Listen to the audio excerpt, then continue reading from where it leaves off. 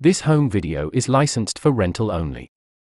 If you have purchased this home video instead of renting it, contact Clever via email at notforesale at clever.com and provide details of the seller who sold you this home video. All information that you provided to us will be taken with the utmost seriousness.